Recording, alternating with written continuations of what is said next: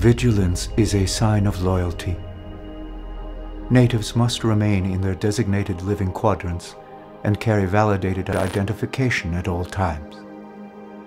Native Rights Statute 6b allows for short-term travel to adjacent quadrants, but this can only be achieved if the proper authorization has been issued. In those instances, your transit papers will be required at all checkpoints. Failure to provide the proper paperwork will lead to a scan and detainment at minimum.